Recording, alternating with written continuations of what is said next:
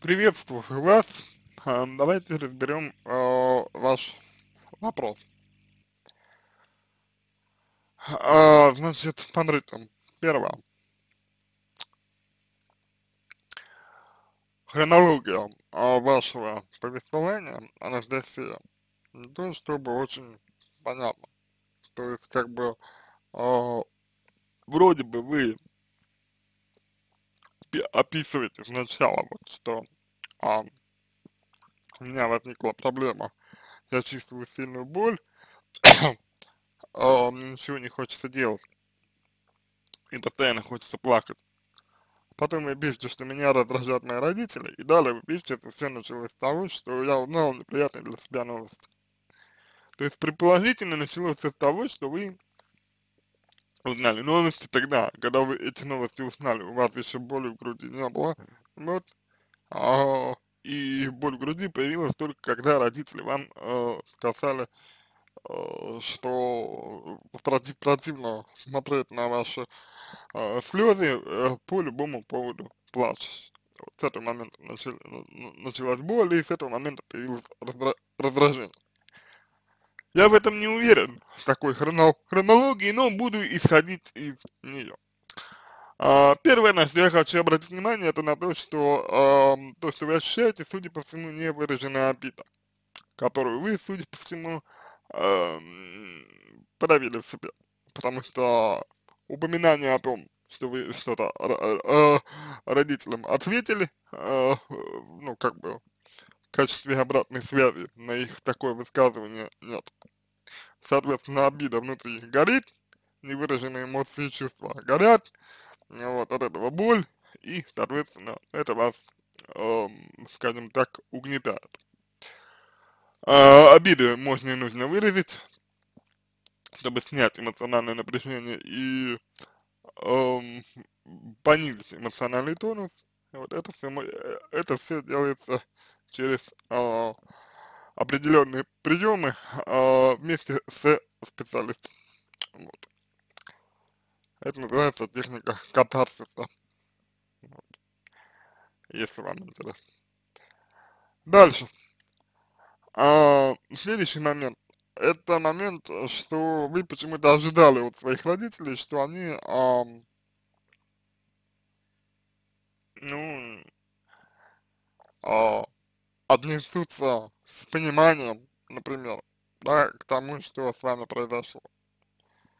То есть такое ощущение, что вы а, накладывали, накладывали на них, а, накладывали и накладываете на них а, некоторые ожидания, которые, ну, не совсем соответствуют действительности, потому что мне эм, сложно, очень сложно представить себе, что до этого момента, который вы описываете, ничего не указывало на то, что родители ваши отреагируют на проявление эмоциональности с вашей стороны таким образом. Скорее всего, это было и раньше, просто вы на это предпочитали не обращать, эм, скорее всего, внимания. Вот.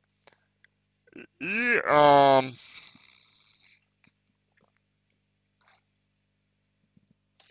это в некоторой э, степени проблема для вас, потому что, э, ну, определенно э,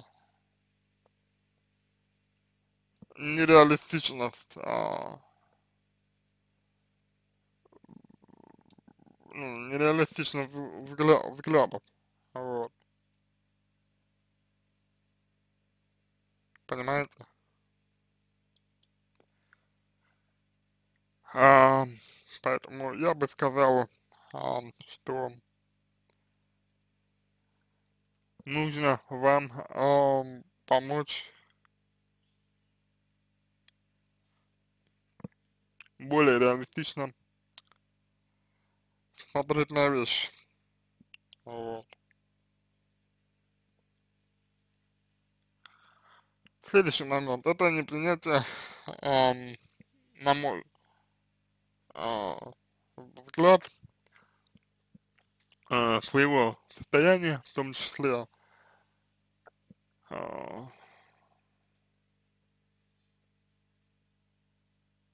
здоровья, вот, и то, как вы воспринимаете себя в контексте этого здоровья.